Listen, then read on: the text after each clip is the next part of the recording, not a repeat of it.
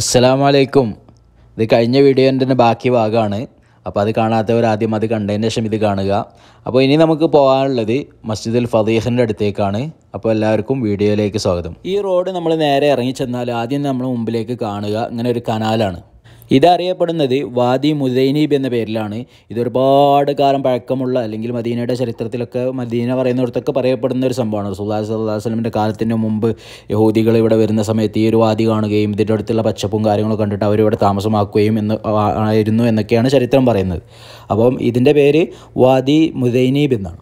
ഈ ഒരു വാദിയുമായി ബന്ധപ്പെട്ട് ഒരുപാട് ചരിത്ര സംഭവങ്ങളുണ്ട് ഇതിന്റെ പരിസരങ്ങളിലൊക്കെ. ഇപ്പോൾ നമ്മൾ ഈ കാണുന്ന ഈ ഒരു വാദി ഇതിന്റെ ഈ റോഡ് ഇതിന്റെ അപ്പുറത്തിലാണ് ബീറുകർസൊക്കെ ഉള്ളത്. അപ്പോൾ ഈ ഒരു വാദിയുടെ ചുറ്റുവട്ടത്തായിട്ട് ഒരുപാട് ചരിത്ര സംഭവങ്ങൾ ഈ ഒരു വാദിയുടെ കരയിലായിട്ടായിരുന്നു ബനു നദീർ ഗോത്രം താമസിച്ചിരുന്നത്. ഇപ്പോൾ നമ്മൾ ഈ മുമ്പിൽ കണ്ടുകൊണ്ടിരിക്കുന്ന ഈ ഒരു സ്ഥലത്ത് ഒരുപാട് ചരിത്ര സംഭവങ്ങൾക്ക് സാക്ഷ്യം വഹിച്ചിട്ടുള്ള ഒരു സ്ഥലമാണിത്. ഇപ്പോൾ നിങ്ങൾ അവിടെ ഒരു കെട്ട് കാണുന്നില്ല? ഒരു വെള്ള. അതൊരു മക്ബറയാണിപ്പോൾ പക്ഷേ അത് അത് ആ ഒരു മക്ബറ നിൽക്കുന്ന സ്ഥലത്ത് ഒരു പള്ളി ഉണ്ടായിരുന്നു. ആ പള്ളിയുടെ പേര് മസ്ജിദുൽ ഫതീഹ് എന്നായിരുന്നു. അതേപോലെ തന്നെ ഇവിടെ ഉണ്ടായിരുന്ന ആ ഒരു പള്ളിക്ക് ഇപ്പോൾ നിലവിൽ ആ പള്ളി ഇവിടെ ഇല്ല. ആ ഒരു പള്ളിയുള്ള സ്ഥലത്താണ് ഇപ്പോൾ ഈ കെട്ടുള്ളത്. ആ ഒരു പള്ളിക്ക് മസ്ജിദ് ഷംസ് എന്ന പേരും കൂടി ഉണ്ടായിരുന്നു. അതേപോലെ തന്നെ മസ്ജിദ് ബനി നദീർ എന്നും ചില ഗ്രന്ഥങ്ങളിൽ ആ ഒരു പള്ളിക്ക് പേരായിട്ട് കാണാം. ഇപ്പം നിങ്ങൾ കാണുന്ന ഈ ഒരു കെട്ടിന്റെ അകത്ത് പൗതിയും പുറത്ത് ഈ റോഡ് നിൽക്കുന്ന സ്ഥലത്ത് പൗതിയായിട്ടായിരുന്നു ആ ഒരു പള്ളി ഉണ്ടായിരുന്നത് എന്നാണ് പറയപ്പെടുന്നത്. ആ ഒരു പള്ളി ഇപ്പോൾ നിലവിലില്ല. അപ്പോൾ ആ ഒരു പള്ളിയുടെ ചരിത്രങ്ങളും കാര്യങ്ങളും പറയുന്നതിന് മുമ്പ് ആദ്യം നമുക്ക് കുറച്ചൊന്ന് പിന്നിലോട്ട് പോകണം. എന്നാലേ ആ ഒരു കാര്യം നിങ്ങൾക്ക് വ്യക്തമായിട്ട് മനസ്സിലാവുള്ളൂ. ഇപ്പോൾ നമ്മൾ ഈ നിൽക്കുന്ന ഈ ഒരു കെട്ടും ഇതിന്റെ ചുറ്റുവട്ടത്തും ഒക്കെ ആയിട്ടായിരുന്നു ബനു നദീർ ഗോത്രം താമസിച്ചിരുന്നത്. റസൂൽവായ് സല്ലാ അലൈഹി സ്വലം മദീനയിലേക്ക് വന്നതും മദീനയിലുണ്ടായിരുന്ന അൻസാരികളെ സാഹബത്ത് രണ്ടു കൈയും നീട്ടി സ്വീകരിച്ചതും എല്ലാവരും മക്കാരെ പോലെ അധികം എതിർക്കാതെ തന്നെ ഇസ്ലാമിലേക്ക് വരികയും റസൂൽവായ് സല്ലാ അലൈഹി സ്വലമിന് പിന്നിൽ അണിനിരക്കുകയും ചെയ്തതെന്നും അന്നത്തെ പ്രബലരായിരുന്ന ഈ ഗോത്രങ്ങൾക്ക് ബനു ഖുറൈദ ആവട്ടെ ബനു നദീർ ആവട്ടെ അവർക്കൊന്നും അത്ര ദഹിക്കുന്നുണ്ടായിരുന്നില്ല. പക്ഷേ മദീനയിലെ പ്രബല ഗോത്രങ്ങളായിരുന്ന ഔസും ഹസ്രജുക്കർ വസ്ലം പേര് പിന്നിൽ അണിനിരക്കുകയും അതോടെ അതോടൊപ്പം തന്നെ ബദർ യുദ്ധം വരികയും അതിൽ റസൂല്ലായി സല്ലാ വസ്ലമയും സഹാബത്തും ഒരു വൻ വിജയം നേടുകയും ചെയ്തതോടുകൂടി അവരെ എതിർക്കാനുള്ള ഒരു ചാൻസിന് അതായത് നേരിട്ട് എതിർക്കുന്നത് ശരിയല്ല എന്ന് മനസ്സിലാക്കിയിട്ട് അവർ ചാൻസിനായിട്ട് കാത്തിരിക്കുമായിരുന്നു റസൂല്ലായി സല്ലാ വസ്ലമിനെയും മറ്റും ഈ ഒരു മദീനയിൽ നിന്ന് പുറത്താക്കണം എന്നുള്ള ഉദ്ദേശത്തോടു കൂടി. ആ ഒരു സമയത്താണ് ഉഹദ് യുദ്ധം വരുന്നത്. ഉഹദ് യുദ്ധത്തിന്റെ ചരിത്രം ഞാൻ എന്റെ കഴിഞ്ഞ വീഡിയോയിലൊക്കെ പറഞ്ഞിരുന്നു.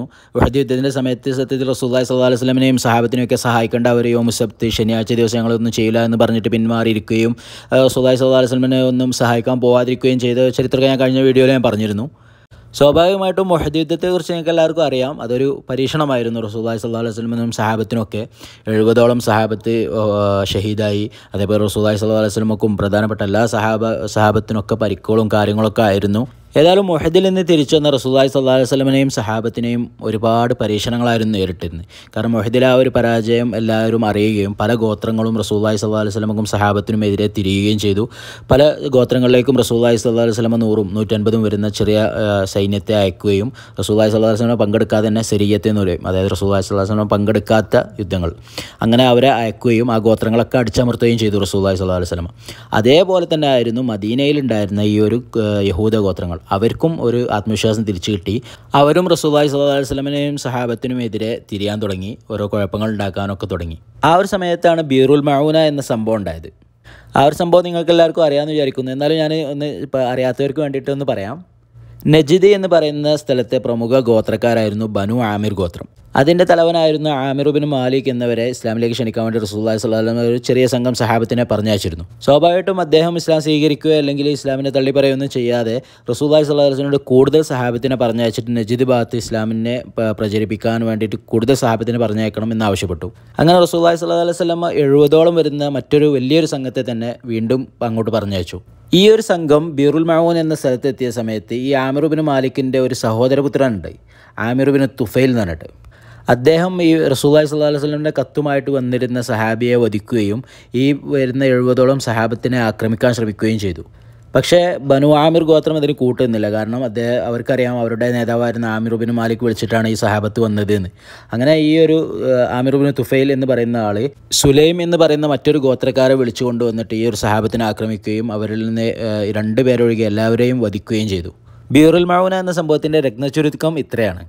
ഈ ഒരു ബീറുൽ മൗന സംഭവത്തിൽ നിന്ന് രക്ഷപ്പെട്ട് മദീനയിലേക്ക് മടങ്ങുകയായിരുന്ന ഒരു സഹാബിയായിരുന്നു അമ്രൂബിനും ഉമയ്യ റതി അള്ളാഹുവിനും അദ്ദേഹം മദീനയിലേക്ക് മടങ്ങുന്ന സമയത്ത് ബനു ആമിർ ഗോത്രത്തിൽപ്പെട്ട രണ്ട് പേരെ കാണുകയും അവരെ വധിക്കുകയും ചെയ്തു. കാരണം അദ്ദേഹത്തിന്റെ കൂടെയുള്ള സഹാബത്തിനൊക്കെ അവരാണ് വധിച്ചത് എന്നുള്ള ഇതിൽ അദ്ദേഹം ഈ ബനു ആമിർ ഗോത്രത്തിൽപ്പെട്ട രണ്ട് പേരെ വധിച്ചു. അങ്ങനെ അദ്ദേഹം മദീനത്ത് വരികയും റസൂല്ലാ വസല്ലമയോട് കാര്യങ്ങളൊക്കെ പറയുകയും ചെയ്തു. പക്ഷേ അവിടെ ചെറിയൊരു പ്രശ്നം ഉണ്ടായിരുന്നു ഈ ബനു ആമിർ ഗോത്രം സത്യത്തിൽ റസൂല്ലായി സല്ലാ അലൈഹി സ്വലമയുമായിട്ട് സഖ്യത്തിലുണ്ടായിരുന്ന ഒരു ഗോത്രമായിരുന്നു. അപ്പോൾ അവരുടെ രണ്ട് അവരിലുള്ളവരെ കൊല്ലാൻ പാടില്ലായിരുന്നു. അത് ഈ ഒരു സഹാബിക്ക് അറിയില്ലായിരുന്നു ഈ സംഭവം. സ്വാഭാവികമായിട്ടും സഖ്യത്തിലുള്ള ഒരു ഗോത്രത്തിൽ ആരെങ്കിലും കൊല്ലുകയോ ചെയ്താൽ എന്ത് കൊടുക്കേണ്ടി ദിയ കൊടുക്കേണ്ടി വരും. റസൂല്ലായി സല്ലാ അലൈഹി സ്വലമിന്റെ അതേപോലെ തന്നെ ഈ ബനു നദീർ ഗോത്രം അതായത് നമ്മളിപ്പോൾ ഈ കണ്ടുകൊണ്ടിരിക്കുന്ന ഈ ഒരു സ്ഥലത്ത് താമസിച്ചിരുന്ന യഹൂദ ഗോത്രമായിരുന്ന ബനു നദീർ ഗോത്രത്തിനും ബനു ആമിർ ഗോത്രവുമായി സഖ്യമുണ്ടായിരുന്നു. സ്വാഭാവികമായിട്ടും റസൂല്ലായി സല്ലാ അലൈഹി സ്വലമ പ്രമുഖരായ സഹാബത്തെ സഹാബത്തിനെയും കൂട്ടി ബനു നദീർ ഗോത്രത്തിലേക്ക് വരികയും അവർ ദിയനെക്കുറിച്ച് ചർച്ച ചെയ്യാനും മറ്റും ഇവിടെ വരികയും ചെയ്തു. അങ്ങനെ റസൂല്ലായി സല്ലാ അലൈഹി സ്വലമയും സഹാബത്തും ഇവിടെ ഇരിക്കുന്ന സമയത്ത് അവരുടെ ഗോത്രത്തിലെ ഒരു വീട്ടിലിരിക്കുന്ന സമയത്ത് യഹൂദികൾക്ക് ഒരു ചിന്ത വന്നു. റസൂല്ലായി സല്ലാ അലൈഹി സ്വലമിനെ ഇപ്പം നല്ലൊരു അവസരമാണ് ഇപ്പോൾ അപായപ്പെടുത്താൻ പറ്റും എന്നുള്ള നിലയ്ക്ക് റസൂല്ലായി സല്ലാ അലൈഹി സ്വലമ ഇരുന്ന റൂമിന്റെ മുകളിലേക്ക് ഒരു വലിയൊരു കല്ല് ഉരുട്ടി കയറ്റി എന്നാണ് പറയപ്പെടുന്നത്. നിങ്ങളെല്ലാവരും കേട്ട ചരിത്രമായിരിക്കും. അങ്ങനെ ആ കല്ല് റസൂല്ലായി സല്ലാ അലൈഹി സ്വലമിന്റെ ശരീരത്തിലേക്ക് ഇട്ടിട്ട് റസൂല്ലായി സല്ലാ അലൈഹി സ്വലമിനെ വധിക്കാനായിരുന്നു അവരുടെ പ്ലാൻ ഉണ്ടായിരുന്നത്. പക്ഷേ റസൂല്ലായി സല്ലാ അലൈഹി സ്വലമക്ക് അള്ളാഹു ആ ഒരു സംഭവം അറിയിച്ചു കൊടുക്കുകയും അങ്ങനെ റസൂല്ലായി സല്ലാ അലൈഹി സ്വലം വളരെ തന്ത്രപരമായിട്ട് അവിടെ നിന്ന് എണീറ്റ് മദീനയിൽ അതായത് അലൈഹി സ്വലം പള്ളിയുള്ള ആ ഒരു ഭാഗത്തേക്ക് പോവുകയും ചെയ്തു. അങ്ങനെ അവരുടെ ആ ഒരു തന്ത്രം വിജയിക്കാതെ പോയി. സ്വാഭാവികമായിട്ടും മദീനയിലെത്തിയ റസൂദായ് സല്ലാ അലൈഹി സ്വലം ആദ്യം തന്നെ ഒരു തീരുമാനമെടുത്തു. ഇനിയും ഈ ഒരു ഗോത്രത്തെ മദീനത്ത് നിർത്തുന്നത് അപകടമാണ്. കാരണം റസൂദാനെതിരെ അപായപ്പെടുത്താൻ ശ്രമിച്ച ഒരു ഗോത്രമാണ്.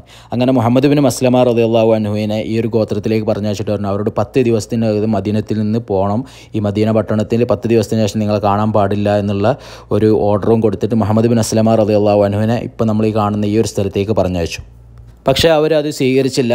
അതേപോലെ തന്നെ മദീനയിലുണ്ടായിരുന്ന മുനാഫിക്കങ്ങളായിട്ടുള്ള ആൾക്കാരും അവർക്ക് സപ്പോർട്ട് കൊടുത്തു. അവരോട് പറഞ്ഞു നിങ്ങൾ പോകേണ്ട ആവശ്യമൊന്നുമില്ല. നിങ്ങൾക്ക് എല്ലാവിധ സപ്പോർട്ടും ഞങ്ങളുണ്ടാവും എന്ന് ആ ഒരു സപ്പോർട്ടും കൂടി ആയപ്പം അവർ റസൂല്ലായി സല്ലാ അലൈഹി സ്വലമിന്റെ ഓർഡർ അവർ അംഗീകരിക്കാൻ തയ്യാറായില്ല.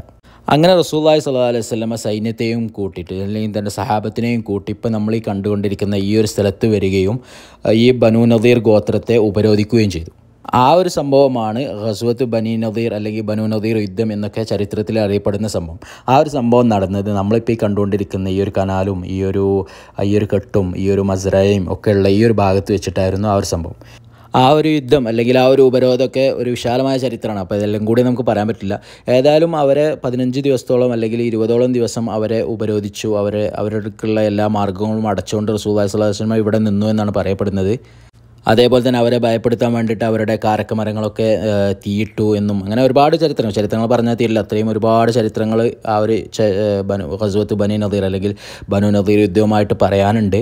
ചുരുക്കി പറഞ്ഞാൽ ഏകദേശം പതിനഞ്ചോളം ദിവസം അല്ലെങ്കിൽ ഇരുപതോളം ദിവസമൊക്കെ അവരെ റസൂലായി സല്ലാ അലൈഹി സ്വലമയും സഹാബത്തും ഉപരോധിച്ചു. സ്വാഭാവികമായിട്ടും അവർക്ക് ഉറപ്പ് കൊടുത്തിന് അവർക്ക് സഹായിക്കാമെന്ന് വാക്ക് കൊടുത്തിന് മുനാഫിക്കങ്ങളൊക്കെ കാലുമാറുകയും അവരെ സഹായത്തിന് എത്താതിരിക്കുകയും ചെയ്തപ്പോൾ അവർ ഏതായാലും റസൂലായി സല്ലാ അലൈഹി സ്വലമായിട്ട് ഒരു ഒത്തുതീർപ്പിന് തയ്യാറായി. ഒത്തുതീർപ്പ് ഇങ്ങനെയായിരുന്നു അവർക്ക് എടുക്കാവുന്ന. ഒരു ഒരു ഒട്ടകത്തിന് ചുമക്കാവുന്ന സാധനങ്ങളുമായിട്ട് അവർക്ക് മദീന വിട്ടു പോകാം. ആയുധങ്ങളൊന്നും എടുക്കാൻ പാടില്ല എന്നുള്ള ഒരു കരാറിന് മുകളിൽ അവരതിന് ഒത്തുതീർപ്പിന് തയ്യാറായി. അങ്ങനെ അവർ തങ്ങൾക്ക് കിട്ടാവുന്ന സാധനങ്ങളൊക്കെ എടുത്ത് ഒട്ടകത്തിന്റെ മുകളിൽ വെച്ചിട്ട് കുറേ കുറേ പേര് ഷാമിന്റെ ഭാഗത്തേക്കും കുറേ പേര് ഹൈബർ ഭാഗത്തേക്കൊക്കെ പോയി എന്നാണ് ചരിത്രം. അപ്പോൾ ഇതൊക്കെ ഞാൻ പറഞ്ഞു കൊണ്ടുവന്നത് ഇവിടെ ഉണ്ടായിരുന്ന ഒരു പള്ളിയെക്കുറിച്ച് പറയാൻ വേണ്ടിയിട്ടാണ്. മസ്ജിദുൽ ഫദീഖ് എന്ന് പറയുന്നത്.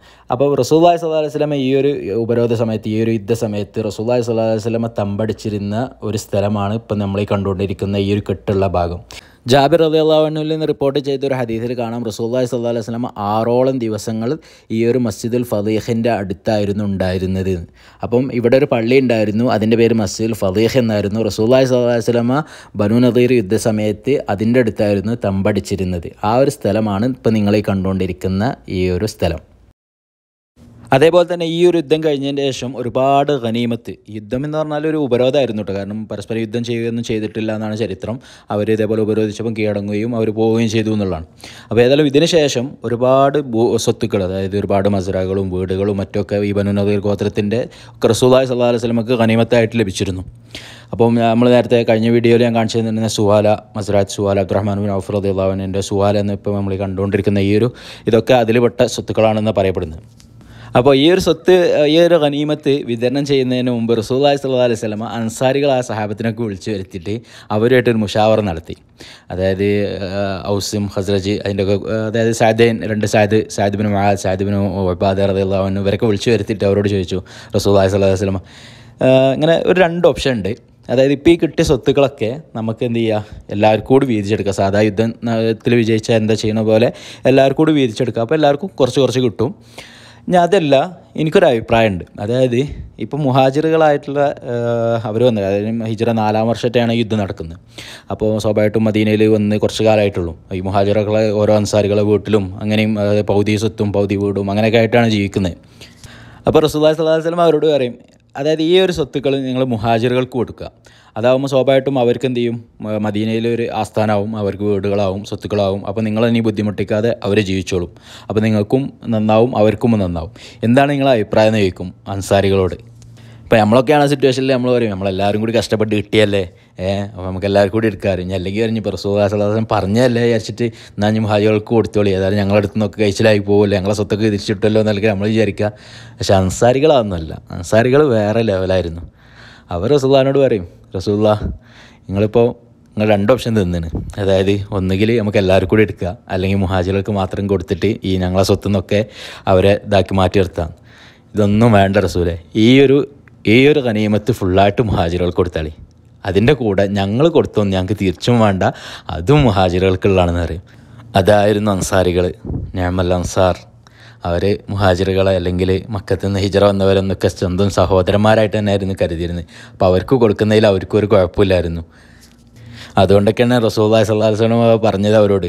അൻസാരികൾ ഒരു വൈക്കും ബാക്കിയുള്ളവർക്ക് ഒരു വൈക്കും പോവാണെന്ന് ഞാൻ അൻസാരികളുടെ കൂടെ പോകും എന്നൊക്കെ പറഞ്ഞിട്ട് അൻസാരികൾ അത്രയും റസൂല്ലയെ ഒരുപാട് ഇഷ്ടപ്പെട്ടിരുന്നു. റസൂല്ലാനെ അത്രയും മുഹാജിറുകളെയും റസൂല്ലാനെയൊക്കെ ഒരുപാട് ഇഷ്ടപ്പെട്ടിരുന്നവരാണ് മദീനക്കാർ അങ്ങനെ അൻസാരികളുടെ പൂർണ സമ്മതത്തോടു കൂടി ഈ ഒരു ഗനീമത്തുകളൊക്കെ റസൂല്ലായി സല്ലാ അലൈഹി സ്വലം മുഹാജിറുകൾക്ക് മാത്രമായിട്ട് വീതിച്ചു കൊടുത്തു എന്നാണ് ചരിത്രം.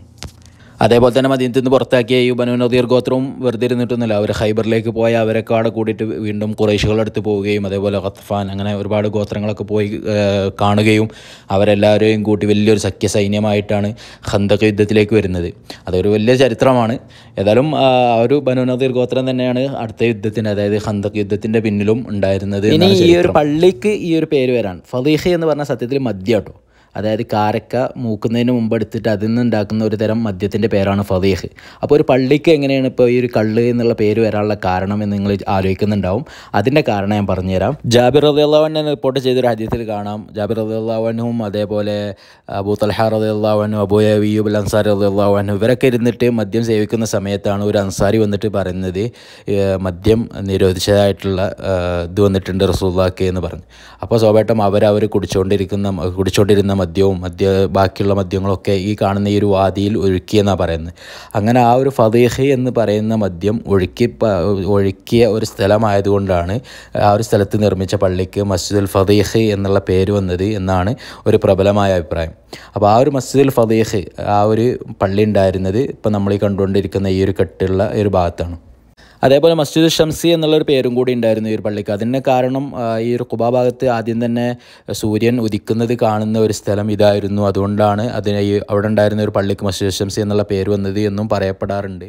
അപ്പോൾ ഇപ്പോൾ നമ്മൾ ഈ കണ്ടുകൊണ്ടിരിക്കുന്ന ഈ സ്ഥലങ്ങളൊക്കെ ഒരുപാട് ചരിത്രം ഉറങ്ങുന്ന സ്ഥലങ്ങളാണ്. റസൂദായ് സല്ലാ അലൈഹി സ്വലമിന്റെ പാദസ്പർശമേറ്റ മണ്ണാണ്.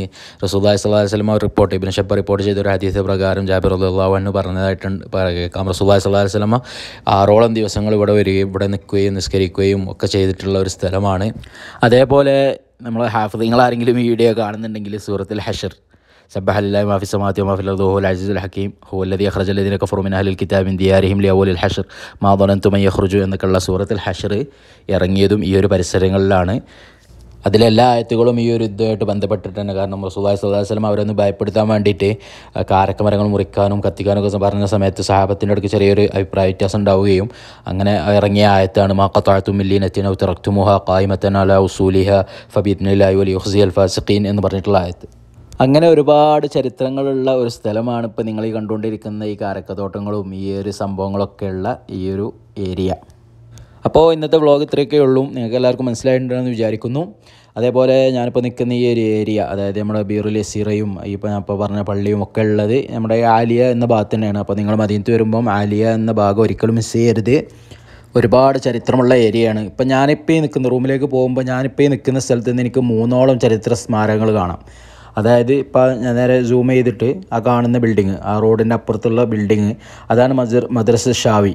അതിന്റെ തൊട്ട് കീഴിലായിട്ടാണ് ഇത് ബീർ ഖർസ് ഉള്ളത്. പിന്നെ അതേപോലെ ഇപ്പം ഞാൻ ഇതുവരെ പരിചയപ്പെടുത്തി തന്ന ആ ഒരു പള്ളിയുള്ളത് ഈ ഒരു ഭാഗത്ത് അതേപോലെ ആ ഒരു കിണറുള്ളത് ഈ ഒരു ഭാഗത്ത്. അപ്പോൾ ഇങ്ങനെ മൂന്ന് സ്ഥലവും എന്റെ ചുറ്റുവട്ടത്താണുള്ളത്.